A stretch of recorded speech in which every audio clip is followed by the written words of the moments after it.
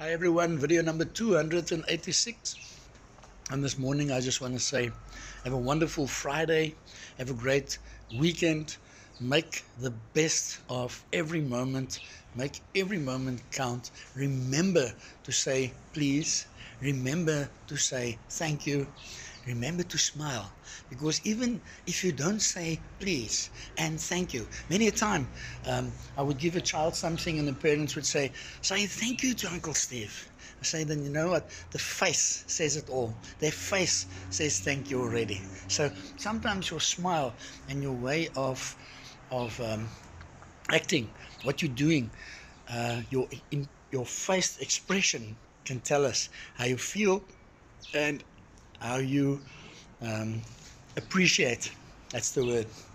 So, guys and girls, remember to smile, and say thank you and please, and make a difference out there in someone's life today. Ciao.